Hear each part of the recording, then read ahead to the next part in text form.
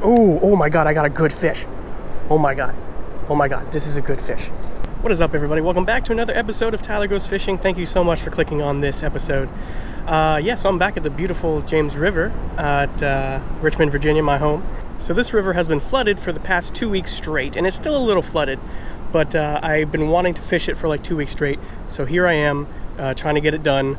Hopefully I'll catch something. Um, I don't know what I'm going to fish with, but uh, you know we'll figure that out as we go. Uh, so thank you for joining me, and I hope you enjoy the video. All right, I'm going to start off with something that's been killing it for me lately, and that's inline spinners. This one is one I haven't used yet. It's kind of a green and silver. I'm not sure if that's supposed to be like a small little green sunfish or a minnow or whatever, but we're gonna try it. See if I can catch any smallmouth bass, largemouth bass, or whatever. There are giants in here. I saw a humongous carp last time I was here, which makes me believe that there could be huge other species in here too. This is a pretty calm part of the river. There's rapids all around there and then all the way down there. But here's a relatively calm spot, so we're gonna try here.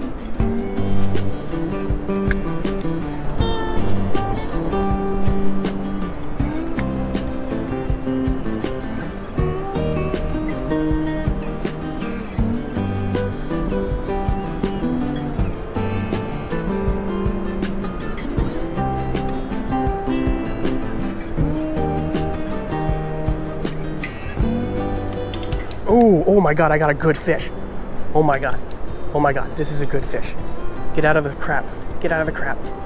Oh, this is a good catfish. Oh my God, oh my God. I need...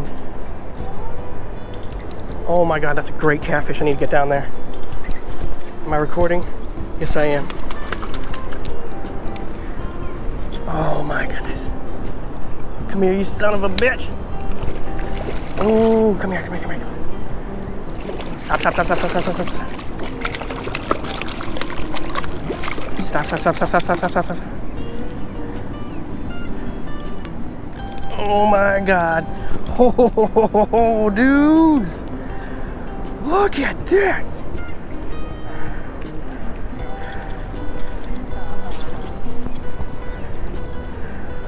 Holy guacamole, guys.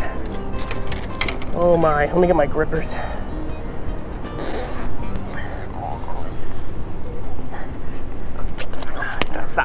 Stop, squirming, stop. Oh my gosh, there we go, guys. Holy crap. This might be my personal best channel right here. Hear him croaking. I hear you, buddy, I hear you. I hear you, buddy. I hear you. Oh, you're pooping a lot too, aren't you? Treble hooks and catfish do not mix. Oh my god. There we go, got him out. Holy moly, guys, look at this guy.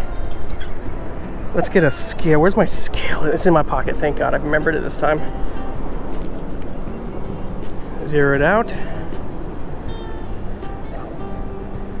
Stop squirming, little buddy. Stop squirming.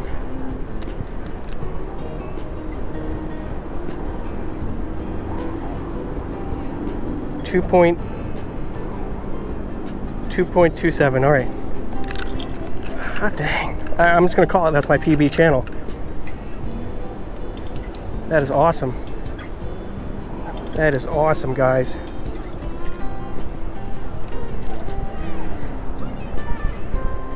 It's a channel catfish.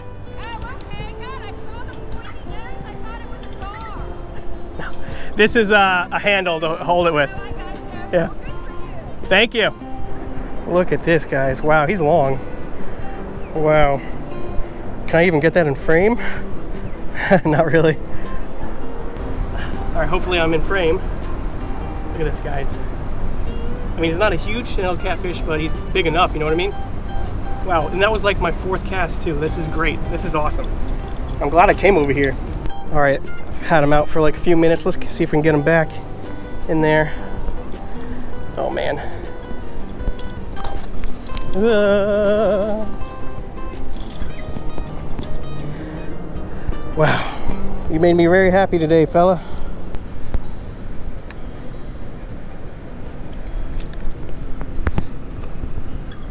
Wrong way.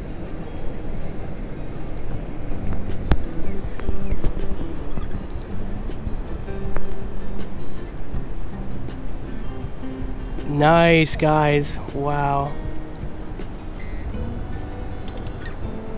You got this, buddy. You got it. Holy moly, guys. Wow, guys, seriously, that was uh, that was something else. Uh, if I don't catch anything else, I'm happy because that was awesome. Whew. And that was like the third or fourth cast. I swear to God, six pound test line. I was able to land him, thankfully. I wasn't expecting anything that big at all. I was expecting like, you know, maybe maybe a, a pound bass, pound smallmouth, uh, maybe a pound catfish. Hot dang, feels good, guys. Let's get back to fishing.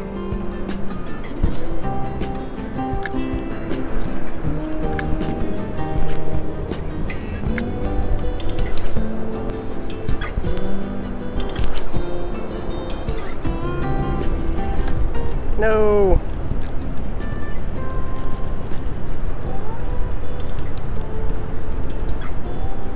Oh boy. Oh boy. Oh boy. Well, if I lose it, at least it got me my PB channel, right? You served your purpose. All right, let's go for it. Probably gonna snap off.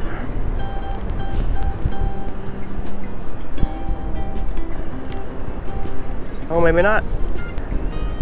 What? Oh, I got the whole thing back. Heck yeah. Solid work, Tyler. I got two other poles here. What do I have on them? Aha. I have a topwater Ozark Trail popper. Or not popper, plopper, I should say. They only cost like five bucks each, as opposed to like the regular Whopper ploppers, which are like which are like 13 to 17 dollars ish. It's relatively calm over here, so maybe there's some big over here that might want to try to try to munch on this dude. It's in like a, I guess a bass pattern, I guess. I don't know. All right, well let's try it.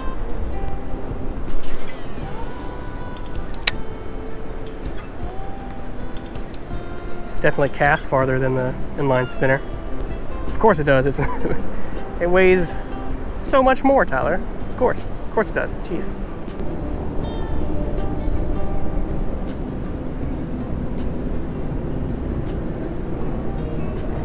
Oh my god. Do you guys see that gar right there? Oh my god. That was a spotted gar, I believe.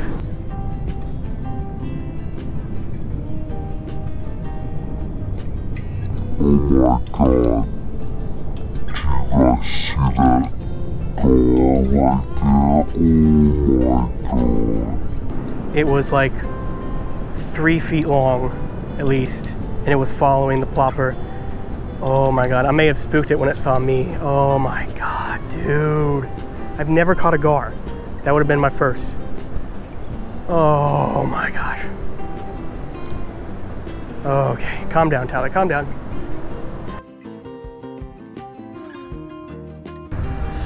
Okay, I'm going to spare you a lot of hours of footage um, because I didn't catch any more fish today.